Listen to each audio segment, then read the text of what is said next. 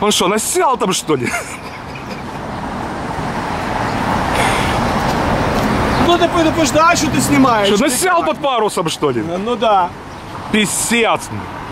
Не, ну, блин, ребята, это- вы же не у себя на родине. Тут люди цветы растят, а их засали уже. Прям под парусом.